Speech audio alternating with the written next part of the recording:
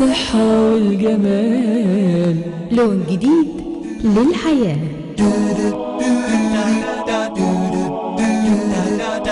هو مصطلح العقم ده مصطلح سلبي شوية. إحنا ما بنحبش اللي هو بيصدم الناس. آه إحنا ما بنحبش نحكم على حد آه، بده. إن شاء الله يا رب نعتبر ان إن شاء الله ننجح آه، في علاجه. فمقترح بيكون سلبي وبيدي أثر سلبي شوية عند آه، بعض من مرضانا. إحنا بنفضل لفظ تأخر الانجاب تأخر الانجاب في حد ذاته هو معناها إن شخص متزوج آه، بقاله أكتر من سنة من علاقة زوجية مستمرة آه، ومنتظمة مش مثلا غايب بيسافر آه، أربع خمس ست شهور ويرجع يقعد أسبوع أو كده. ففي هذه العلاقة موجود مع زوجته بصفة دائمة ولم يحصل حمل أو في هذه الفترة. في لمدة سنة بدون استعمال أي وسيلة من وسائل طب بالنسبة آه، برضو منع للناس اللي هم اتجوزوا ما اتجوزوش فترة ما اتجوزوش مباشرة مباشرة يعني على طول. مباشرة. آه معلش. هو حضرتك آه، دول آه، بيتسموا مثلا كلمة عقيم؟ إحنا إحنا اتفقنا إحنا مش هنلجأ لللفظ ده خالص. لكن إحنا بنقول آه، اللي متزوج بقاله أكتر من سنة آه، محتاج إن هو يروح يشوف إذا كان هو عنده مشكلة ولا لأ واذا كانت زوجته عندها مشكلة ولا لأ.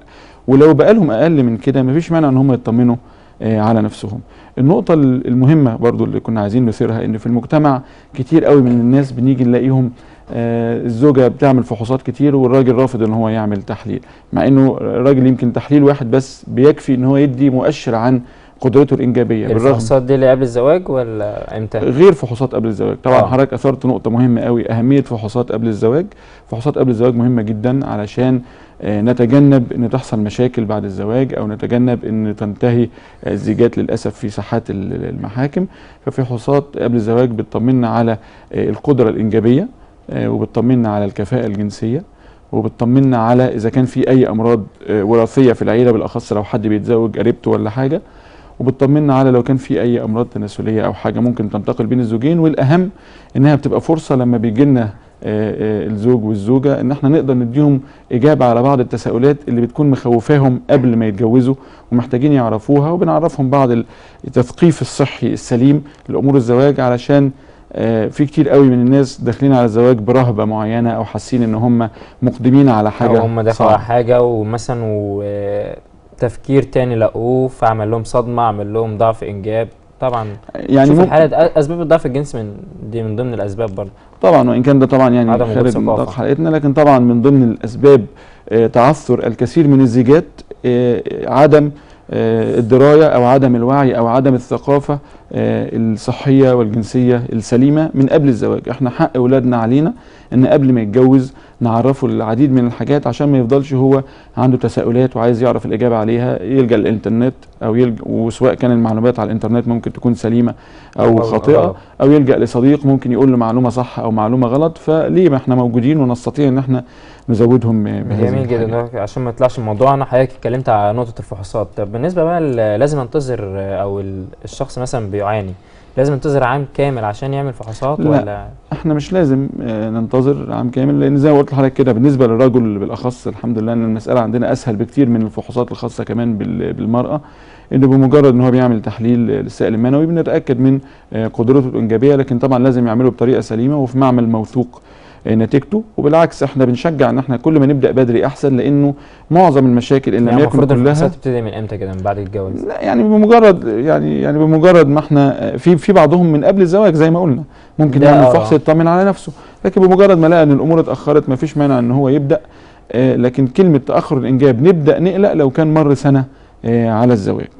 طب بالنسبة مثلا لشخص آه، رزق بالطفل هل في صعوبة إنه يرزق بطفل آخر أو عنده تأخر في في حاجة اسمها تأخر الإنجاب آه، الثانوي مش الأولي. تأخر الإنجاب الأولي إن واحد تزوج ومن ساعة ما تزوج ما إنجبش.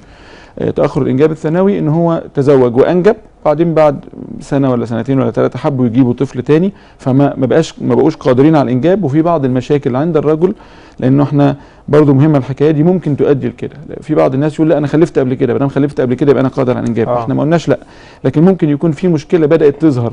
أو بدأت تتفاقم بعد ما أنجب أول طفل أو بعد ما أنجب طفل أو طفلين هنا المشكلة مثلا قادر بتتراوح. مع حضرتك مثلا أكيد حضرتك مريت بحالات كتير زي دي في الغالب بتكون المشكلة إيه يعني طبعا إحنا هن- هنتطرق لأسباب آه، تأخر الإنجاب ولكن في حاجات كتيرة زي دوالي الخصيه زي حاجات لا، كتيرة ممكن الاسباب الثانويه أو اللي هو المن...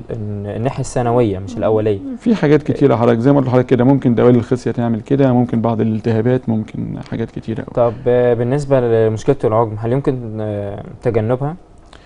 في إجراءات وقائية لإن إحنا الشخص ده لما يكبر أو لما يتزوج ما يكونش عنده عقم.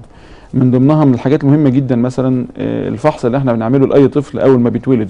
لو عنده خصية معلقة لو لو خصية واحدة بس اللي موجودة أو الخصيتين مش موجودين آه، في كيس الصفن يبقى ده عنده خصية معلقة محتاجة إن إحنا نتابعه ونشوفه لازم يعمل عملية علشان ينزل هذه الخصية بعد ما يتم سنة. إحنا بنسيبه أول سنة من عمره بندي فرصة إن الجسم يخرج الخصية لوحده. إذا ما خرجتش بعد مضي ما بين ما يتم سنة وقبل ما يتم سنتين لازم نعمل إنزال لهذه الخصية علشان الطفل ده لما يكبر ويبقى راجل ما يبقاش عنده يعاني من مشكلة آه، تأخر اتصال الانجاب الأول بعد كده نكمل النقطة دي. معانا اتصال أستاذ مدحت. ألو؟ ألو السلام عليكم.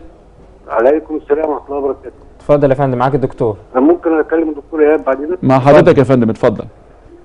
أيوه يا دكتور. أهلا وسهلا بحضرتك. السلام عليكم.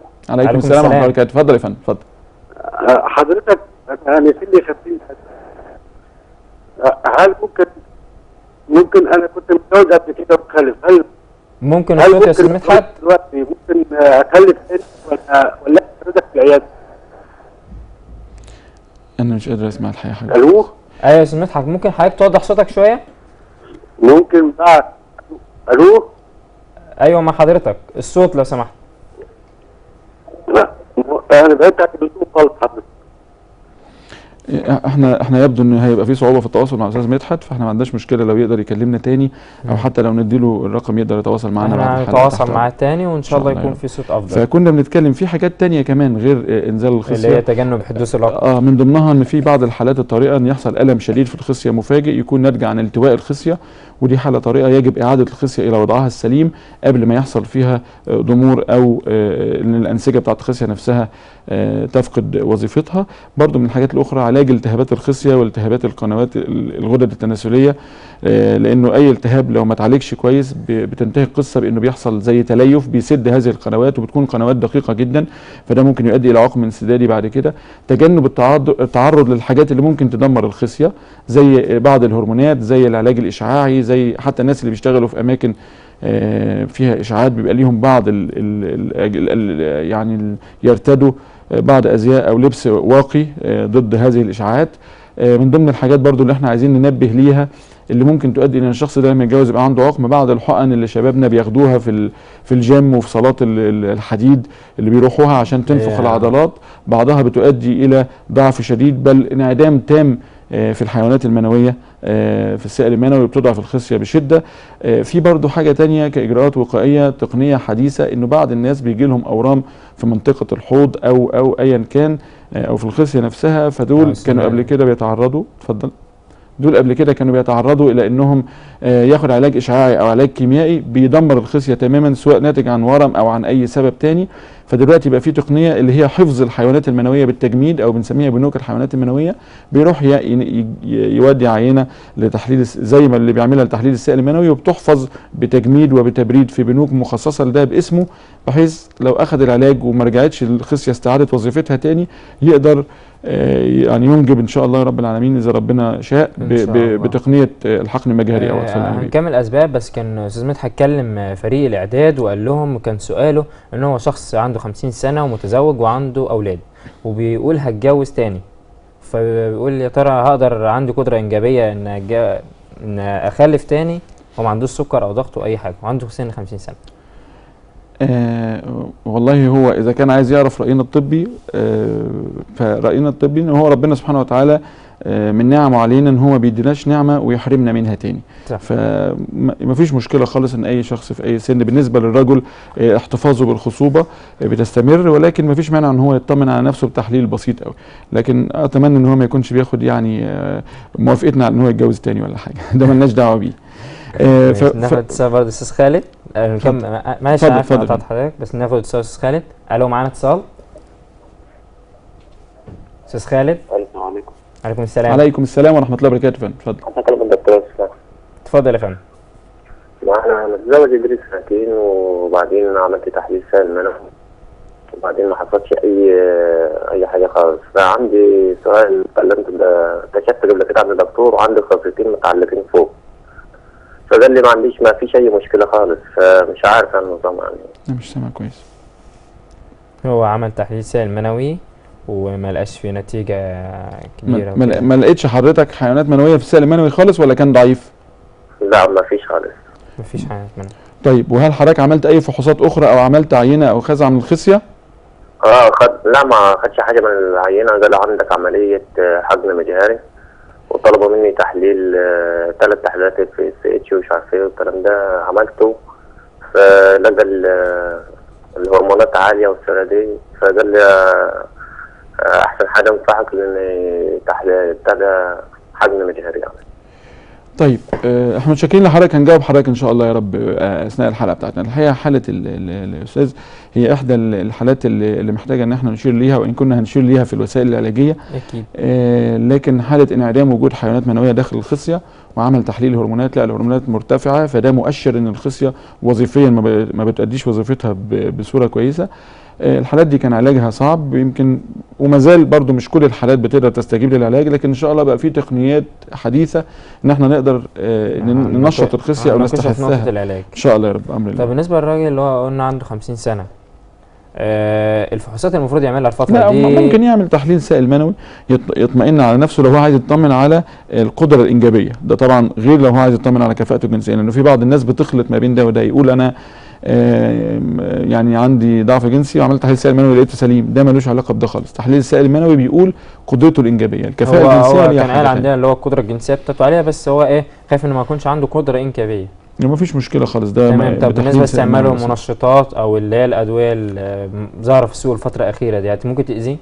على السن ده؟ إحنا كده هنخش في حلقة عن الضعف الجنسي آه لا لا أنا بس ف- هو إيه هو ما شاء الله لكن راجل خلي- جاب سؤال مركب يعني لكن خليني أقول. لحضرتك طبعا إحنا لا ننصح باستعمال ال- المنشطات دون إن هو يرجع لطبيب. لأنه للأسف الكثير من الناس يقول أنا كنت كويس وباخد منشطات آه، فالمشكلة إن هو حصل له ضعف جنسي وما بقتش منشطات بتجيب نتيجة لأنه استنفذ آه، فرصته آه، في العلاج بيها فده طبعا يعني جزء يمكن يكون شق آه، آخر يعني آه، لو اتكلمنا حضرتك كنت قلت لي على أسباب ال- الأسباب آه أسباب تأخر هو- الإنجاب عند الرجال شو- ممكن هنناقش الأسباب اللي هي هنناقش الفيديو الأول عن الأسباب وكده. وإن شاء الله الحاج برضه يعزمنا على. فرح يعني. إن شاء الله يا رب. نشوف الفيديو مع. بعض عن الأسباب وبعد كده نرجع دكتور يناقش حضرتك ممكن تشرحوا لنا يا دكتور الفيديو كده؟ آه، آه، إحنا إحنا حضرتك هنتكلم عن الأسباب وهتظهر أثناء الفيديو يمكن بترتيب مختلف. أسباب آه، المتعلقة بالزوج اللي بتؤدي تاخر في حدوث حمل من ضمنها في كذا مرحلة ثلاث مراحل. مرحلة قبل تصنيع الحيوانات المنوية بالخصية بيبقى في بعض الاختلالات في وظائف الغدد الصماء زي الغدة النخامية وهي اللي مسؤولة عن انها تفرز هرمونات بتنشط الخصية. وبالتالي هنا بتطلعها بتوازن بيوضح دقيق. إيه؟ دي الحيوانات المنوية. آه، وده الرأس والديل الحيوان المنوي. مهم إن هو يكون ليه حركة قوية عشان يكون قادر على اختراق آه، جدار ال- البويضة وعشان يكون قادر على ان هو يوصل للبويضة آه، داخل آه، الرحم. آه، كنا بنقول إن من ضمن الأسباب الأخرى الأمراض المزمنة. زي ما واحد يكون عنده مرض مزمن فبيؤثر على وظيفة الجسم بالكامل من ضمنها يعمل اختلال في قدرة الخصيه على تصنيع الحيوانات المنوية. في أسباب أخرى متعلقة بالخصية نفسها إنه يكون مثلا زي ما قلنا آه، إن الخصية معلقة آه، أو في بعض الحالات الأخرى آه، ممكن يكون ناتج عن بعض ال- الأمراض الكروموزومية أو الجينية زي متلازمة سيرتولي أو متلازمة كلاين فلتر. آه، التدخين من الأسباب اللي بتؤثر آه، بالسلب على آه، القدرة الإنجابية لأنها بتضعف الحيوان المنوي الحيوان المنوي اللي شفناه بيتحرك وبيجري قدامنا دلوقتي ده على الشاشة. ب- مع الشخص المدخن يكون أضعف أو بدون زيت. التدخين في مواد آه، بت- بتيجي للحيوان المنوي بتشل قدرة الحيوان المنوي على الحركة تماما فبتخليه مش قادر يوصل للبويضة ولا قادر يخترق آه، جدار البويضة.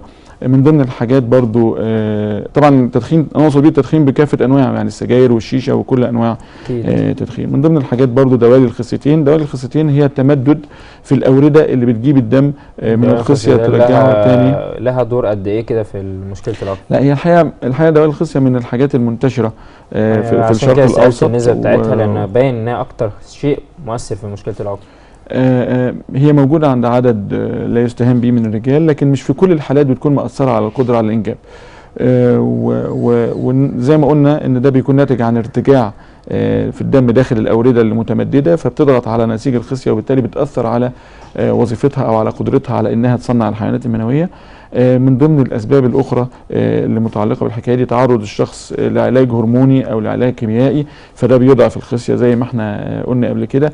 التهابات الخصية آه، والأخص لو حصلت في سن مبكر كتير قوي من الناس آه، بيجي عنده مشكلة وبنكتشف انه هو صغير كان حصل له زي ما بنقول الغدة النكافيه آه، أو عند العامة مشهورة بيدوها أسماء مختلفة زي بولوكيم أو كده. فأحيانا بتنتقل إلى أن يحصل التهاب في الخصية. الالتهاب ده بينتج عنه تورم في الخصية وبي وبي بيلتئم بتليف فبيدمر جزء من نسيج الخصية. آه، بالتالي كل ضعف حيوانات منوية في عقم وكده.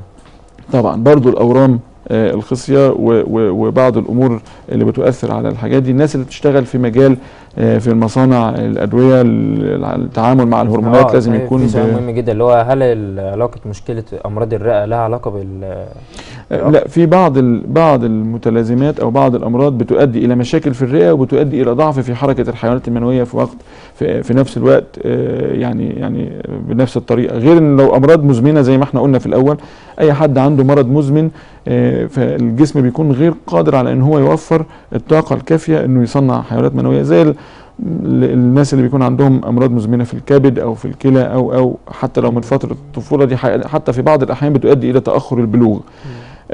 برضو علاج حالات تأخر البلوغ المبكر بيؤدي إلى إن الناس دول لما النقطة دي مهمة يكبروا. جدا. علاج تأخر حياة البلوغ المبكر بس بعد اتصال أستاذ محمد. بعد تسع مقاطعة بس هي اتصالات إيه أهلاً وكده. وفي اتصالات لا، ما بنقبلهاش. ومعانا اتصال تليفون أستاذ محمد. السلام عليكم. عليكم السلام. بس أنا كنت عاوز أسأل الدكتور عن يكلمني عن عندي مشكلة في الخصيه في الخليه خلايا الأم مش موجودة. فكانوا بيقولوا في زرع الخلايا الجذعية. فكنت عاوز أعرف نسبه نجاحها وصلت كام دلوقتي وكده يعني. طيب.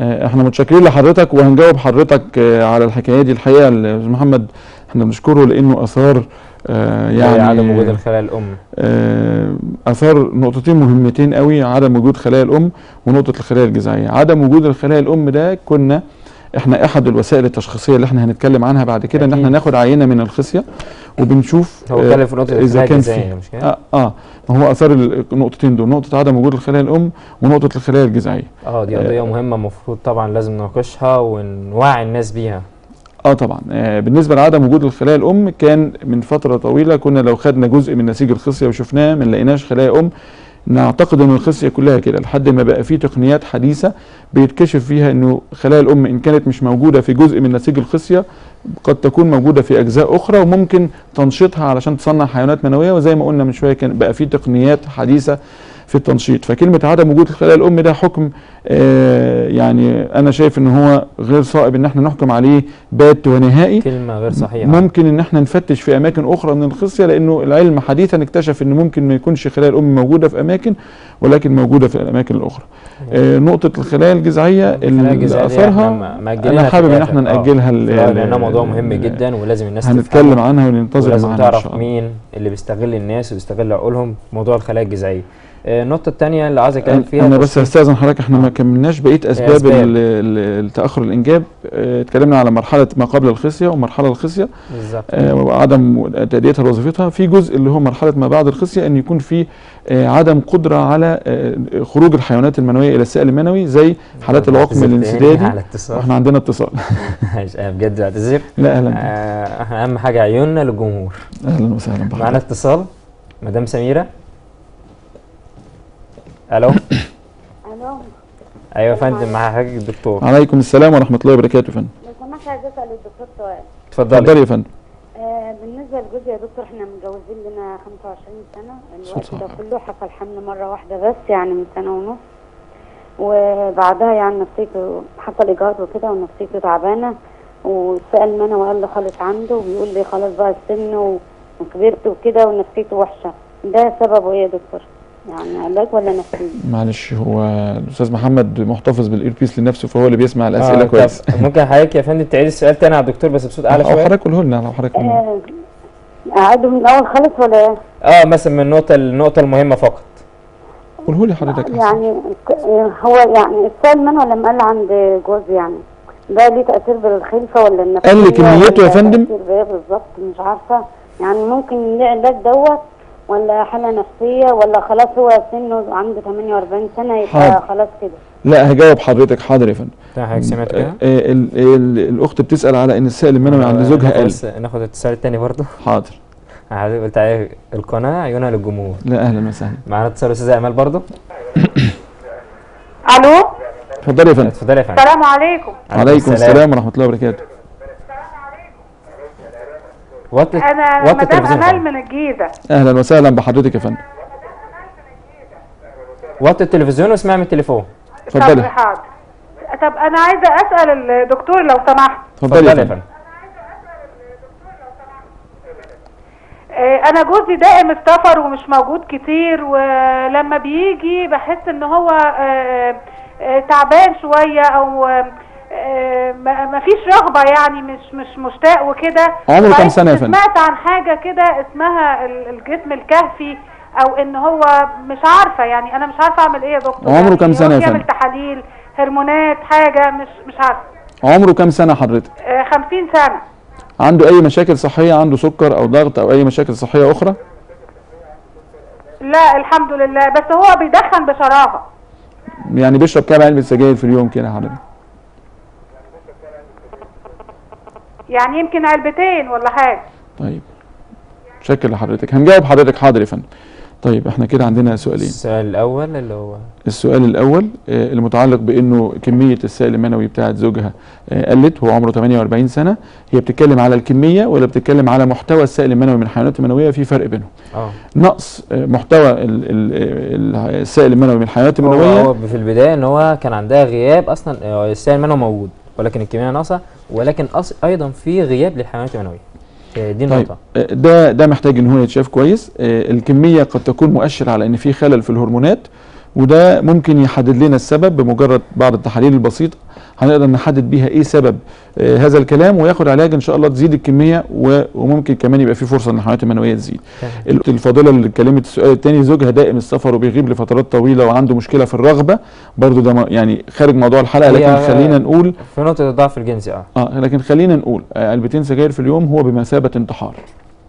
تمام؟ آه، ده طبعا بيؤثر بالسلب جدا على كافه المدى البعيد آه، طبعاً. على المدى البعيد نقص الرغبة غالبا بيكون ناتج عن بعض الاختلالات خلل في الهرمون أو خلل في آه، قدرة آه، الجسم على آه، إن هو يتواكب مع آه، يبقى فيه رغبة ويبقى فيه هرمون الذكورة أو التعامل معاه يبقى. إزاي أو إزاي يحسنوا ده طبعا. محتاج يروح لحد متخصص لكن إحنا عايزين نقول إنه الضعف الجنسي في بعض الحالات وفي بعض الأبحاث الجديدة اللي إحنا عملنا البعض منها في في في قسم آه، طب وجراحة أمراض الذكورة في القصر العيني بتتكلم عن آه، آه، انه آه، الضعف الجنسي قد يكون مؤشر لمشكلة أكبر. يعني الشريان اللي مسؤول عن ضخ الدم للجسم الكهفي اللي اتكلمت عنه الأستاذة هو هو ده الشريان آه، لو اتسد آه، بيبدأ يعمل ضعف جنسي ولو آه، بدأ يتسد الشريان اللي بعده أو نفس الحجم أو أكبر منه شوية بتكون شرايين القلب والمخ. فقد يكون الضعف الجنسي مؤشر إن الشخص ده ممكن يبدأ يشتكي من آه، لا قدر الله ذبحه صدرية أو قصور في الدورة. الدموية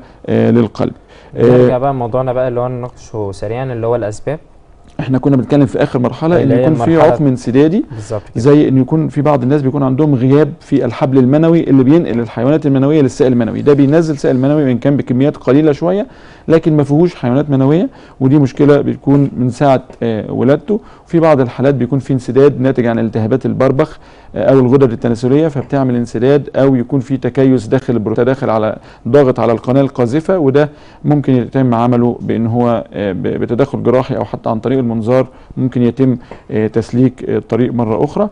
في بعض الحالات أخرى يعني حتى الضعف الجنسي أو أو سرعة القذف الشديدة بتخلي الشخص ممكن ما يكونش قادر إن هو يحصل إنزال السائل المنوي في مكانه. اتصال. هناخد اتصال. معانا اتصال. الاستاذه منة الله السلام عليكم. عليكم السلام. عليكم السلام ورحمة الله وبركاته يا فندم. ممكن أكلم الدكتور؟ اتفضلي فندم، حضرتك يا دكتور فندم،. حضرتك. أيوه يا دكتور لو سمحت أنا مخزون التبويض عندي سبعة من عشرة. النسبة دي تسمح ب- بالحمل ولا إيه؟ طيب متشكرين لحضرتك. آه، طبعا السؤال اللي سألته الاستاذه هو آه، يجاوب عليه أحسن مني حد يكون متخصص آه، في مجال النساء والتوليد. لكن النقطة اللي أنا برضو عايز أقولها للأستاذة وبشرى وإحنا لسه حتى كنا بالصدفة يعني آه، إحدى الأخوات الفضليات كان عندها مشكلة هي وزوجها الحقيقة هي كان عندها مخزون التبويض ضعيف جدا وهو برضو كان عنده بعض المشاكل آه، في التحليل الخاص بيه. لكن الحمد لله آه، ربنا أكرمهم ولسه مبشرينا إنه إنه إن في حمل الحمد لله طبعا بالحقن المجهري. لكن دايما في امل وبقى في زي ما قلت وسائل حديثة لتع...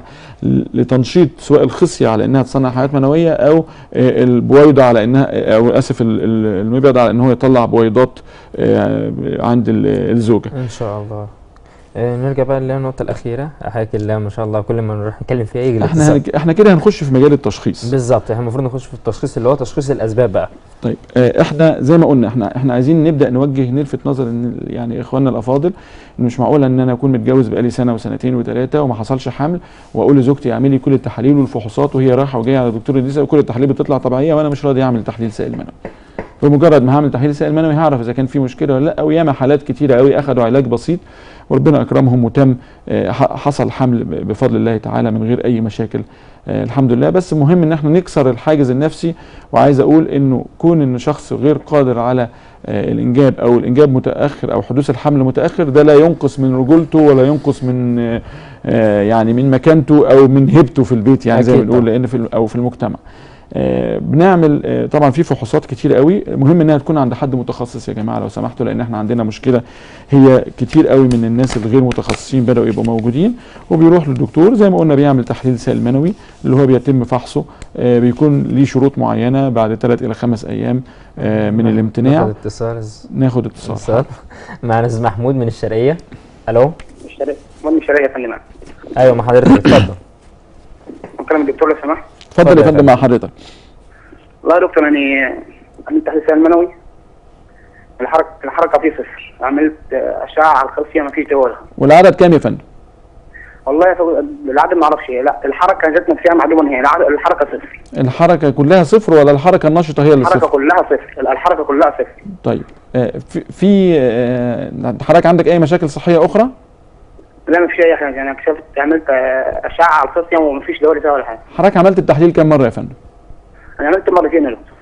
طيب آه، في معامل متخصصة ولا في معامل عادية؟ لا أنا عامل عادية. طيب آه، وحضرتك عملت أي فحوصات أخرى؟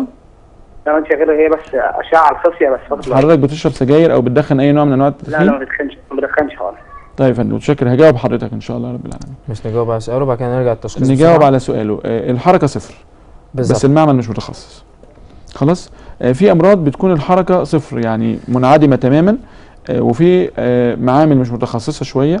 ممكن يعني بس أقول لحضرتك بعض الأمثلة إنه تكون العينة أساسا هو جاب العينة بطريقة خاطئة سواء باستعمال أي وسيلة أخرى أو سواء جاب العينة مثلا واتأخر على ما وداها المعمل ولا كده فالحيوانات المنوية بتموت أو بتبدأ إن الحركة بتاعتها تنعدم. فاحنا محتاجين ان إحنا نعيد التحليل في معمل متخصص. الحاجة الثانية مهم جدا إن إحنا نقول منظمة الصحة العالمية قالت إنها عشان نقدر نتكلم على نقيم القدره الانجابيه للرجل المفروض نعمل تحليل سائل منوي وإذا لقينا في مشكلة ما نعتمدش على تحليل واحد أو تحليلين نعمل ثلاث تحاليل وزي ما قلنا تحليلين بس اللي عملهم آه، ال- ال- الأخ المتصل ما هماش كفاية ومحتاجين نعمل تحليل في مكان جميل متخصص. جدا. دكتور عايزين بقى نخش في نقطة التشخيص سريعا جدا علشان نخش في العلاج سريعاً وأهم جداً. نقطة محتاجة اللي هي الخلايا الجذعية. حاضر. دي تشخيص سريعا جدا. حضرتك إحنا عندنا هنعمل تحليل سائل لازم يكون عند حد متخصص ده أهم حاجة. أكيد. تحليل سائل منوي بالشروط اللي إحنا اتكلمنا عنها واللي لسه في بعض التفاصيل أخرى مش هنقدر نذكرها. لها أجزاء إن شاء الله. آه، في آه، حضرتك تحاليل في بعض الحالات بنحتاج نعمل تحليل هرمونات آه، في الدم الهرمونات المحفزة أو المنشطه للخصيه وفي بعض الحالات بنحتاج نعمل أشعة سواء كان على الخصيتين أو أشعة على البروستاتا والغدد التناسلية. في بعض الحالات الأخرى بنحتاج إن إحنا ناخد عينة من الخصية لو في انعدام للحيوانات المنوية تام. دي ليها أسباب تشخيصية عشان نشوف إذا كان في مشكلة الحيوانات المنوية بتتصنع ولا لأ وإذا كان في توقف في مرحلة من مراحل تطور أو تصنيع الحيوان المنوي. وليها برضو هدف علاجي إن لو لقينا حيوانات منوية ممكن بناخد الحيوانات المنوية دي سواء نجمدها نحفظها بالتجميد لحد ما نحضر زوجته عشان تعمل حقن مجهري أو لو زوجته متحضرة بيتم عمل حقن مجهري مباشرة. دي ال الوسائل الت- التشخيصية وزي ما قلنا آه، نخش. كل ما يكون التشخيص مبكر يكون أحسن. حضرتك عايز نخش على العلاج؟ آه هنخش على العلاج. بس بعد في. الاتصال. آه. ما شاء الله حلقة كلها مكالمات. أهلا وسهلا. معنا مكالمة؟ ألو؟ السلام عليكم. عليكم السلام. ورحمة الله وبركاته يا فندم. آه، لو سمحت آه، أيوه يا دكتور. مع حضرتك اتفضل يا معاك يا فندم. دكتور. آه، بس واحدة متجوز من حوالي 10 سنين وما خلف معايا بنت عندها 8 سنين ما حصلش حمل لغاية دلوقتي. وعملت تحليل سالتين أنا بس اخر مرة كانت الحركة ضعيفة 38 حضرتك بتقول عندك بنت عمرها 8 سنين؟ أيوه يا فندم. طيب يا فندم وحضرتك عملت تحليل إيه؟ عملت سائل منوي طلعت ال- العدد 55 والحركة 38 للحركه الإجمالية والنشطة؟ ما أعرفش يا فندم بس هو؟ قال لي محتاج برشام تمشي عليه لمده ثلاث شهور. قال لي أنا محتاج علاج لمده والأشكال الطبيعية أو الأشكال المشوهة؟ لا والله يا فندم ما عنديش فكرة بس أنا أعرف إن التحليل كويس بس هي الحركة بس اللي هي ضعيفة شوية. حضرتك عملت تحليل واحد بس يا فندم؟ لا عملت كذا مرة كان بيبقى كويس يعني بس هي آخر مرة اللي عملت فيها الحركة أول مرة بتاعها ضعيفة يعني. طيب كان عندي السكر من حوالي سنة بالظبط. ألف سلامة على حضرتك شفاك الله وعافاك يا فندم إن شاء الله. طيب يا فندم حاضر هنجاوب على حضرتك. زي ما إحنا قلنا هو الفيصل هنا إحنا طبعا آه، يعني ما عندناش مشكلة إن إحنا نقدر نوفر لأي حد يجي عن طريق القناة إن إحنا نشوفه آه، بجواب من القناة ما عندناش مشكلة. لكن زي ما حضرتك شفت الفكرة هنا إنه التحليل بيقولوا معقول لكن حركة شوية. فالقصة إن أحيانا بتلاقي الأمور آه، رمادية. انت محتاج تعمل تحليل بطريقة سليمة في معمل متخصص وتحكم عليه حد استشاري متخصص في المجال عشان يديله الحل النهائي. ما يفضلش يروح للدكتور ده شوية وبعدين يقتنع بكلامه ويمشي على علاج شهر شهرين وبعدين يروح لدكتور غيره. فبيجي لنا كتير قوي من الناس وخاصة انه أنجب قبل كده فده ينطبق عليه الكلام اللي إحنا قلناه قبل كده اللي هو بتاع تأخر الإنجاب الثانوي. العلاج في علاجات تدخل آه، علاجي دوائي وفي علاجات جراحية. الدوائي في منها حاجات متخصصة زي إن إحنا مثلا لو في هرمون معين منخفض بنزود هذا الهرمون زي بعض المشاكل اللي إحنا اتكلمنا عنها. آه، لو في التهاب بنعالج الالتهاب لو في مشكلة في الحركة بنعالج مشكلة الحركة. آه، في عقم مناعي بندي كورتيزون. آه، ايا كان ده العلاجات الدوائية. في علاجات دوائية بنسميها إنها لتنشيط الخصيه عموما. برضو بقى في وسائل جديدة قوي آه، بننشط. بيها الخصيه دي العلاجات الدوائية التدخل الجراحي لو في دوالي بنعمل عملية ربط دوالي مش بالضرورة آه، أي حد عنده دوالي يعمل عملية لكن لو إحنا تيقنا إن هي اللي مأثرة على القدرة على الإنجاب ولو في تكيسات هي اللي بتسد القناة القاذفه للحيوان المنوي بنستعمل منظار وبنعمل لها إزالة. الفيديو ده يوضح يا دكتور برضو ال- دي ده جزء من نسيج الخصية بيوضح إن في جزء من نسيج الخصية تم أخذه والحكم عليه في العينة اللي إحنا بنتكلم عنها. لو خصية معلقة بنعمل لها إنزال زي ما اتكلمنا وتثبيتها وبرضو لو خصية قلنا حصل فيها التواء بيتم إعادتها. وفي وسائل اخصاب مساعدة. بعد كده هنتكلم على وسائل اخصاب مساعدة اللي هي تشمل التلقيح الصناعي وتشمل الحقن المجهري وأطفال الأنابيب اللي هي بتعتمد على آه. تنشيط التبويض عند الزوجة وبيتم استخلاص هذه البويضات وفي نفس الوقت بيتاخد الحيوانات المنوية آه، من الزوج. لو هو تحليل السائل البنوي بتاعه معقول آه، بيتاخد الحيوانات المنوية النشطة وبيتم إعدادها وحقنها آه، داخل الزوجة. ده التلقيح بالنسبة الصناعي. للحالات اللي هي خلاص وصلت تقول لك مرحلة اليأس أو يأست من كتر العلاج آه، إيه الجديد في الطب اللي يديهم الأمل؟ زي ما قلنا بقى في وسائل جديدة قوي لتحفيز آه، الخ- الخصية لتصنيع الحيوانات المنوية. بقى في وسائل حديثة لتحفيز كمان آه، التبويض آه، عند إخواننا دكاترة أساتذة النساء والولادة. آه، برضو آه، بقى في تقنيات أحدث بقت بتزود من فرص نجاح الحقن المجهري. وزي ما قلنا بنستخلص الحيوانات المنوية سواء من الخصية أو من السائل المنوي. آه، التقنيات اللي معترف بيها آه، على مستوى العالم بس آه، واللي العلم معترف بيها كوسائل علاجية حصل فيها جديد قوي وبقى في تطور في العلاجات وفي أساليب الاستخلاص وفي أساليب الحقن كمان. جامد جدا يا دكتور وتعتبر آخر نقطة معانا تعتبر أهم نقطة أنا بجد محتاج قاعد هنا مخصوص عشان أسمعها وعشان نوصلها للجمهور عشان الناس تفهم آه، الدكاتره أغلب الدكاترة ماشيين إزاي؟ أو الناس بيست- بيستغلوا عقلهم إزاي؟ إن أغلب مثلا مريض التأخر إنجاب لو الدكتور قال له هات عينيك عش... ويخليك تجيب عيال هيعمل. وبرضه سمعت إشاعة قبل ما ندخل إيه؟ التبرع بالحيوانات المنوية سمعت حاجات غريبة جدا.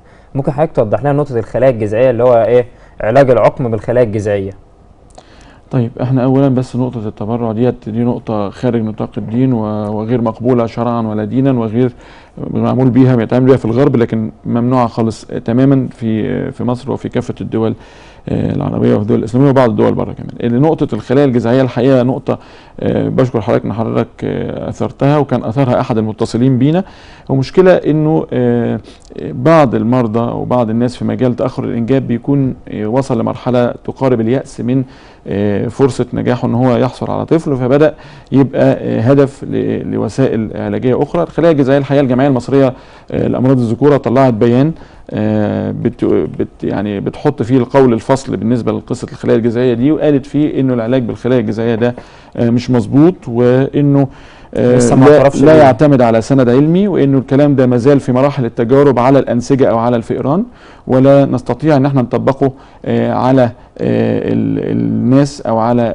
مرضى آه، تأخر الإنجاب أو اللي عندهم مشاكل في ذلك تصنيع هناك بعض الحيوانات المنويه الأطباء بيستخدموا اسم الخلايا الجذعية وزراعة الخلايا الجذعية مع ذلك. آه، إحنا حضرتك آه، آه، هذا ال- النظام آه، غير معترف به في مصر ولا في يعني يعني ما هواش مقنن بل بالعكس ده يمكن الجمعية كمان طالبت ال- نقابة الأطباء ووزارة الصحة بأنها آه، تضمن حق آه، المريض آه، في إن هو ما يخضعش لوسائل علاجية غير آمنة وغير مجربة وما زالت آه، هذا العلاج. أو هذا التقنية لا ما اعترفوش لسه هنا آه، طبقت بره ونجحت ولا لسه لا تجارب؟ حضرتك لا إحنا مش بنتكلم عن هنا بس إحنا بفضل الله لينا أبحاث آه، كتيرة وعلى مستوى العالم. يعني على مستوى العالم لسه إنه حقل تجارب. العمل مجال الخلايا الجذعية في مجال غياب أو انعدام الحيوانات المنوية أو الخلايا الأم عند الرجال ده مازال قيد التجارب بيتعمل على مستوى الأنسجة أو على مستوى الفئران. ده مش كلامي ده الكلام البيان اللي طالع من الجمعية المصرية آه، لأمراض الذكورة وبالتالي آه، لو سمحتوا يعني عايزين ننتبه إحنا في وسائل علاجية معترف بيها. مثلا بتتم إزاي أصلا؟ آه، لا، آخد عينة من خلايا ده ده ده؟ حضرتك ده ده زي ما قلت لحضرتك كده يعني ده مكان كلام ما زال في يعني في مرحلة التجارب وحتى مش مجاله إن إحنا حتى نعرضه لأنه ما زال حاجات غير موثوق بيها وما زالت حاجات غير معترف بيها وما زال آه، بنقول إن هو آه، غير است- قانوني اللجوء لهذه الوسائل. وما نقدرش آه، نقول للناس خالص إن في أي فرصة في كده. لو سمحتوا ما تمشوش ورا آه، يعني سراب آه، وكلام آه، زي ما نقول كده ما هواش قانوني وما هواش مضمون. ما يعني لا تقبل إنك تكون آه، قيد التجربة أو تخضع لتجارب أو لوسائل علاجية ما زالت. ما ما جابتش نتائج أو ما زالت مش معترف بيها أو ما زالت غير قانوني آه، اللجوء للعلاج بيها طبقا لآخر ما وصل إليه العلم حتى هذه اللحظة اللي إحنا بنتكلم مع بعض فيها. ويا ريت آه، لو لو العلم وصل لأن في وسائل علاجية في هذا المجال أو هيساعد. كده. يا ريت لكن إحنا ما نكرهش بالعكس نتمنى وإن يبقى في آه، أمل جديد. لكن زي ما قلت لحضرتك كده شريطة إن الكلام ده يكون آه، يعني لا يتم آه، استخدام آه، المرضى أو البشر آه، كوسيلة للتجربة. أنا لدي بس رسالة أخيرة آه، حابب إن أنا أقولها لمشاهدينك الكرام آه، وآخد من يعني من القناة عندكم آه، منبر إن إحنا نقدر نتكلم معاهم نقول لهم لو سمحتوا ما تفقدش الأمل. لو سمحت حضرتك كتير قوي من الناس اللي قاعدين بيتفرجوا علينا قدام الشاشة راح لدكتور وقال له خلاص وارضى باللي ربنا قسمه ليك وارضى بقضاء الله وانت مش مش هينفع انك انت تنجب و و و لا لو سمحت ما تفقدش الأمل لأن كل يوم في جديد وكل يوم بقى في تقنيات أحدث وكل يوم بقى في فرص أحسن آه وإن شاء الله يا رب العالمين من الجهات الموثوقة ومن الناس المتخصصين ومن الناس ال ال ال الأساتذة والاستشاريين والأفاضل إخواتنا وأساتذتنا وزملائنا نقدر إن إحنا إن شاء الله يا رب إن نقول لكم على. وسائل إن شاء جديدة إن شاء الله. ما تفقدش الأمل ويسعى وإن شاء الله يا رب العالمين ربنا أمرنا إن إحنا نأخذ بالأسباب وإن شاء الله في أمل وإن شاء الله يا رب بامر الله إن شاء يكون الله في نجاح إن شاء الله حضرتك نورتنا النهارده بجد لحضرتك. جميلة جدا اننا قدرنا نوصل اولا رسالة بسيطة للجمهور وشكرا لكم على حسن استماعكم ومشاهدتكم لنا النهارده. والسلام عليكم ورحمة الله وبركاته. عليكم السلام. للتواصل مع قناة الصحة والجمال الموقع الرسمي للقناة www.صحة.tv ويمكنكم مشاهدة برامج القناة على صفحة القناة على اليوتيوب www.youtube.com الصحة channel. وتابعوا صفحتنا على الفيسبوك www.facebook.com الصحة tv. وعلى تويتر www.twitter.com الصحة tv.